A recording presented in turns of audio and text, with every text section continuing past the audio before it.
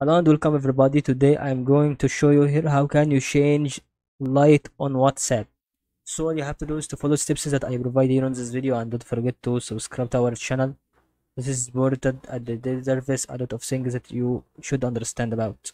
So as you can see we will have to click on three dots on the right high corner and let's see what is going on about these settings and once we click on settings you'll click on you'll click on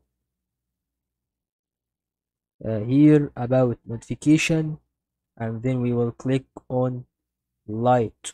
So we will click on yellow for example or green or cyan or blue or however the light is. And that's what I could share for the Instagram app today. I hope that was helpful for you and there is no another thing that you can check out about next time.